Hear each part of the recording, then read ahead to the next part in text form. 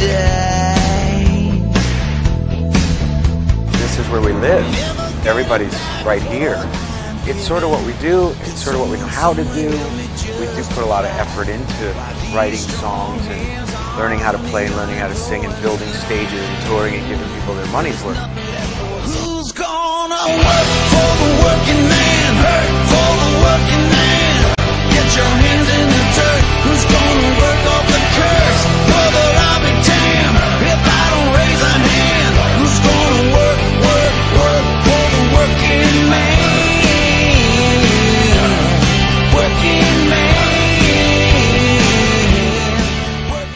Love your job, no matter what it is, embrace it.